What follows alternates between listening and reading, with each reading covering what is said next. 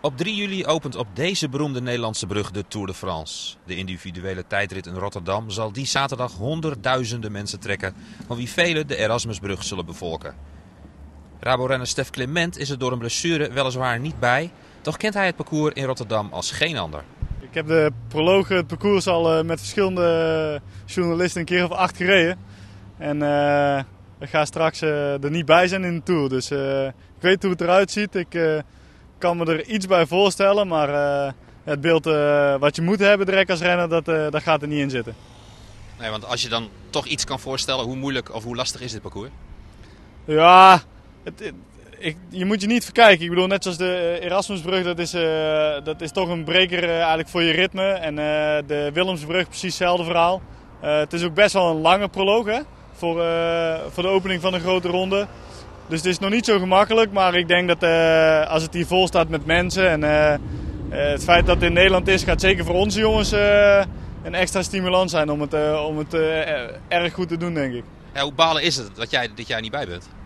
Ja, het is, het is erg balen. Maar ja, net zo erg als dat balen is, moet je er ook weer erg snel vanaf van die gedachte. Het is niet zo en ik ken de reden. Je bent geblesseerd. Als je geblesseerd bent, kan je geen Tour de France rijden. Dus er komen nog meer Tour de France na deze. En dan hoop ik er gewoon weer bij te zijn. En ja, goed, zo, zo, is de sport ook. Het, het is met vallen en opstaan.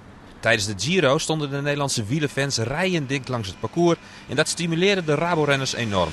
De verwachting is dat het in Rotterdam nog drukker zal worden. Ik heb, ik heb zelf dus nooit meegemaakt, de grote ronde start in, in eigen land. Maar ik, ik, ik begrijp wel dat je daar iets extra's van krijgt.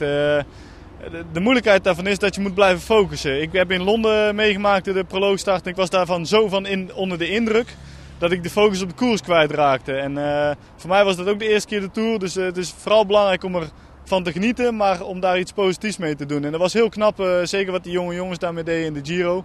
En als Lars dat ook kan direct, dan, dan moet er wel iets moois uitrollen. Lars is Lars Boom. En met renners als Boom, maar ook Menshoff, Geesink en Frère...